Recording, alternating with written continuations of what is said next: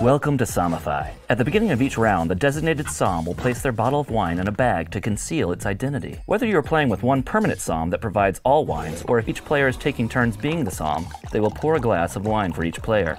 Each player will make a pre-call to give their best guess at the wine using the Sommified method of deductive tasting. To learn more about the method, check out the link in the description. Everyone chooses a game piece and places it on the start zone. The stack of bottle shocks should be shuffled and placed in their designated spot on the board. Players roll to see who goes first. The game moves clockwise thereafter. Note, if playing with fewer than four people or four wines, players may choose to roll only one die. It's up to the group. The first player rolls and advances on the board until stopped by a door. Cellar doors are locked and prevent players from moving forward. They may only be opened if the player who lands there correctly identifies the corresponding call for the wine.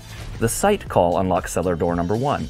For white wines, players guess straw or yellow gold, which are lumped together only for this door. For red wines, players guess thin skinned or thick skinned. If the player answers incorrectly, the cellar door remains locked and the player is teleported to the previous cellar door or start area. If the player correctly identifies the call, they have unlocked the door for all players. Unlocking a cellar door gives you two advantages. You receive one point in the game, and also get to take a ride on the Juice Slide. Since the keys used at the cellar doors are public information, the next player to use them has a slight advantage. They can cross check the information against their call. Players do not have to stick with their pre-call guess. If a player lands directly on an unlocked cellar door, they may also ride the slide. The red question marks on spaces are bottle shocks. When a player lands on a bottle shock, they draw a bottle shock card, which can provide good fortune or punish whoever draws it. In this case, they must move back two spaces. Note that players only draw bottle shocks on their primary roll. If they are moved onto another bottle shock space by other forces, they do not draw a card. Make sure to keep some wine in your glass throughout the game as you'll want to keep sipping to determine the grape characteristics. At cellar door number 2, players must correctly identify whether the wine is moderate minus, moderate, moderate plus, or high acidity.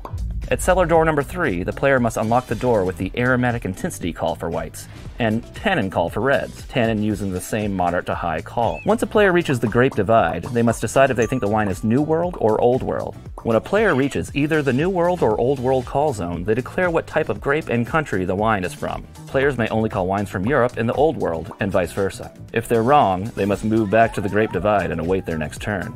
The round is over when someone correctly names the wine. They receive 8 points. The Somm can now reveal their mystery wine to everyone. The Somm now tallies up all scores. Players receive 2 points for each category called correctly on their pre-call. So 2 points for New World or Old World, 2 points for the grape, and 2 for the country. The pre-call score is added to the points scored for unlocking cellar doors, as well as the final 8 points awarded by calling the wine correctly on the board.